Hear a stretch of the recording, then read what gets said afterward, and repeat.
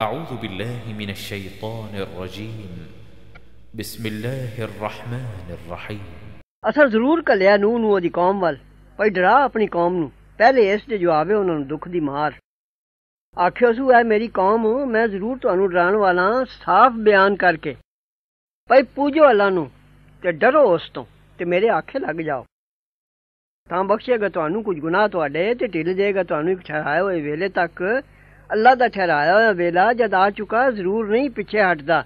ਕਾਸ਼ ਤੁਸੀਂ ਜਾਣਦੇ। ਆਖਿਓ, ਸੂ ਮੇਰੇ ਰੱਬਾ, ਜ਼ਰੂਰ ਮੈਂ ਸੱਦ ਰਿਹਾ ਹਾਂ ਆਪਣੀ ਕੌਮ ਨੂੰ ਰਾਤੀ ਤੇ ਦਿਨੀ। ਫਿਰ ਨਹੀਂ ਵਧਾਇਆ ਉਹਨਾਂ ਦਾ, ਮੇਰੇ ਸਦਨੇ ਨੇ ਪਰ ਨਸਣਾ। ਤੇ ਜ਼ਰੂਰ ਮੈਂ ਜਿੰਨੀ ਵਾਰੀ ਸੱਦਿਆ ਉਹਨਾਂ ਨੂੰ, ਤਾਂ ਤੂੰ ਬਖਸ਼ੇ ਉਹਨਾਂ ਨੂੰ। ਪਾਈਆਂ ਨੇ ਉਂਗਲੀਆਂ ਆਪਣੇ ਕੰਨਾਂ ਵਿੱਚ, ਤੇ ਉੱਤੇ ਲੈ ਲਿਓ ਨੇ ਕੱਪੜੇ ਆਪਣੇ। ਤੇ ਜ਼ਿੱਦ ਬੰਨ ਬੈਠੇ ਤੇ ਗਰੂਰ ਕੀਤੋ ਨੇ, ਬੜਾ ਗਰੂਰ। ਫਿਰ ਮੈਂ ਜ਼ਰੂਰ ਸੱਦਿਆ ਉਹਨਾਂ ਨੂੰ ਵੱਜ ਵਜਾ ਕੇ। ਫਿਰ ਮੈਂ ਜ਼ਰੂਰ ਖੋਲ ਕੇ ਆਖਿਆ ਉਹਨਾਂ ਨੂੰ ਤੇ ਛੁਪਾ ਕੇ ਆਖਿਆ ਉਹਨਾਂ ਨੂੰ ਹੌਲੀ ਜਈ ਫਿਰ ਆਖਿਆ, ਮੈਂ ਗੁਨਾਹ ਬਖਸ਼ਵਾਓ, ਆਪਣੇ ਰੱਬ ਤੋਂ ਉਹ ਜ਼ਰੂਰ ਬਖਸ਼ਣ ਆ ਰਹੇ। ਛੱਡ ਦੇਗਾ ਅਸਮਾਨ ਦੀਆਂ ਤੁਸਾਂ ਉੱਤੇ ਤਾਰਾਂ ਤੇ ਉੱਤੋਂ ਦਿੱਤੀ ਦੇਗਾ ਤੁਹਾਨੂੰ ਮਾਲ ਤੇ ਪੁੱਤਰ ਤੇ ਬਣਾ ਦੇਗਾ ਤੁਹਾਨੂੰ ਬਾਗ ਤੇ ਬਣਾ ਦੇਗਾ ਤੁਹਾਨੂੰ ਨਹਿਰਾਂ। ਕੀ ਹੋ ਗਿਆ ਤੁਹਾਨੂੰ? ਉਮੀਦ ਨਹੀਂ ਰੱਖਦੇ ਹੋ ਅੱਲਾ ਤੋਂ ਬਜ਼ੁਰਗੀ ਦੇਣ ਵਿੱਚ? ਹਾਲਾਂਕਿ ਪੈਦਾ ਕਰ ਚੁੱਕਾ ਤੁਹਾਨੂੰ ਤਰ੍ਹਾਂ ਤਰ੍ਹਾਂ ਕਰਕੇ।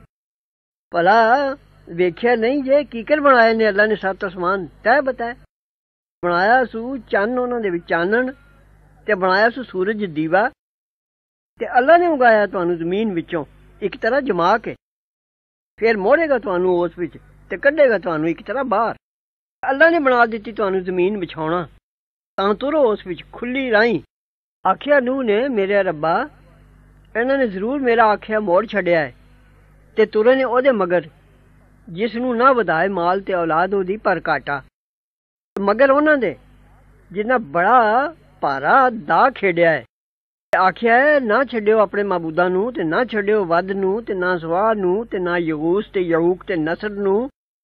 ਤੇ ਗੁੰਮਰਾਹ ਕੀਤਾ ਨੇ ਬਹੁਤਿਆਂ ਨੂੰ ਤੇ ਨਾ ਵਧਾਈ ਜ਼ਾਲਮਾਂ ਸਵਾ ਗੁੰਮਰਾਹੀ ਦੇ। ਕੁਝ ਆਪਣੇ ਗੁਨਾਹਾਂ ਉਤੋਂ ਡੋਬੇ ਗਏ, ਫਿਰ ਵਾੜੇ ਗਏ ਅੱਗ ਵਿੱਚ।